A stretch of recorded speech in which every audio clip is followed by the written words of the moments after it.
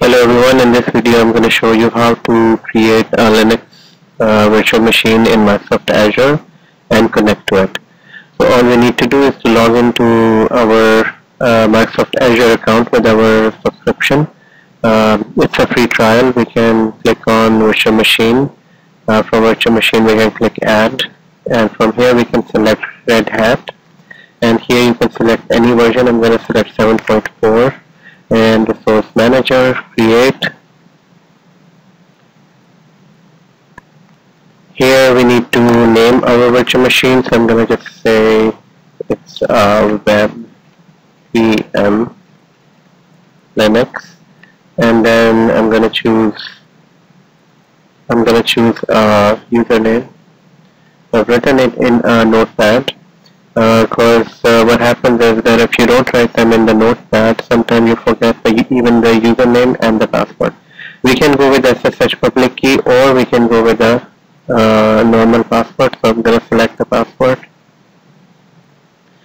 In both of them, just make sure that you have a proper password and um, and notepad. So for example, I've written them both here in the notepad so I can use them later on.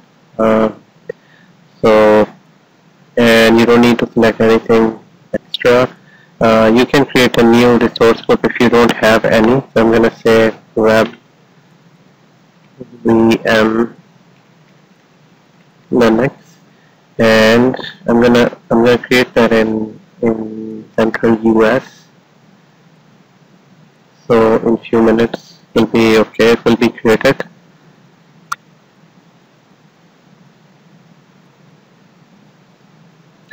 With the hardware I'm going to select B1S uh, based on the pricing I'm going to select uh, this it's the cheapest one available.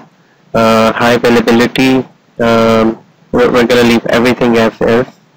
I'm not going to select availability zone and uh, all I need to do is to just select public port to be open which is SSH 22 you don't need to open any other port. And then I'm going to go down and click OK it will give us a summary and uh, the charges. And I'm going to select I'm going to select uh, uh, uh, agree to the terms and conditions. It automatically fills up this information. And if, if it doesn't then you can write your email address and your phone number. So it takes this from your subscription. So it is now creating a new VM it's a Linux VM once it is created then we can uh, connect to this VM uh, from a SSH client. So in my case, I have a PuTTY client uh, downloaded. You can also use a PuTTY client, or you can use um, any SSH free, any SSH client. So once it is created, I'm going to use a PuTTY client to connect to this uh, uh, connect to this virtual machine. I'm going to pause this video at the moment, and then I'm going to come back. So it took around uh, 5-10 minutes and the virtual machine is ready all I need to do is uh, click on the web, VM Linux that we just created. You can see that you can connect to the machine you can start restart. It is already started. Uh, you can see the name here of the virtual machine and here's your public IP address. In order to connect to this machine all we need to do is to copy this public IP address.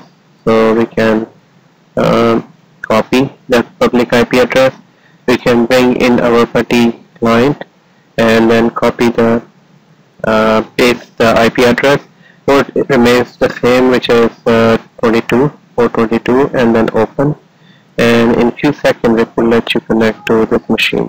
It's um, and here it's asking for login. So remember we copied we saved our login password.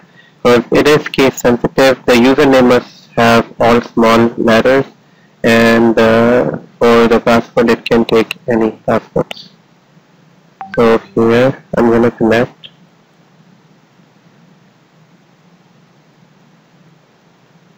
Mm.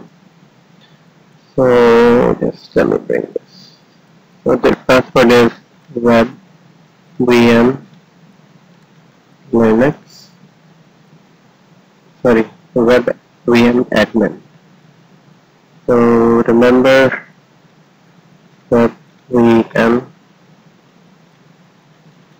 admin and the password is web vm p capital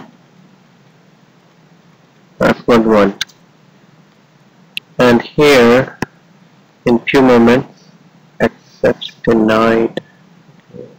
What is wrong with this? Uh, so so the username is web vm admin and so let's try again web vm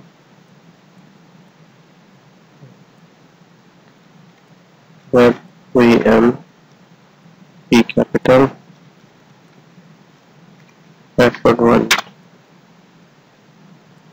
so now it is connected. So this is how you can connect to Linux machine you can run any command. So for example if you need to see any all of the uh, processes we can type top.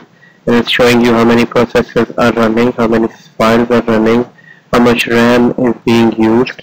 And we can do anything uh, with this. So this is how we can install and connect to a Linux VM. Thank you for watching this video. I'm going to see you in the next video